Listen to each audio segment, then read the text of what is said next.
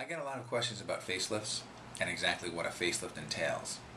So today I wanted to speak about a mini facelift and my version is called a Naturalift.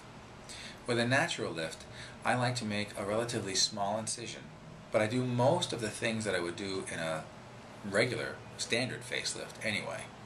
It's just that I'm working through a much smaller area. This is a woman who came to me and asked for some work. She said that she felt like she looked tired and older than she really was. And we decided to pursue uh, of my version of a mini facelift, the Naturalift.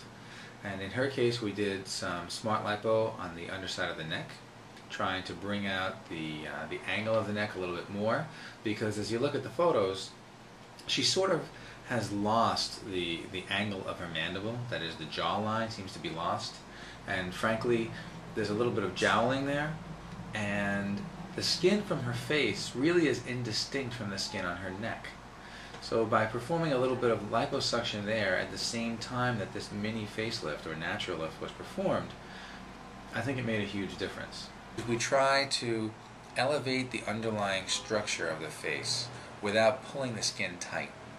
So in the old days, a facelift was simply a matter of um, making some incisions, pulling the skin back, and making a Joan Rivers style facelift. And I actually try to avoid that as much as possible.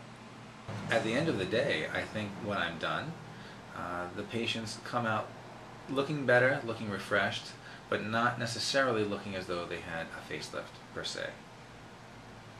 So if you have questions or if you're interested in having some kind of face work done, but you really don't want anyone to know that it's been performed, and if you need a quick recovery with very little downtime, a Naturalift might be the right procedure for you.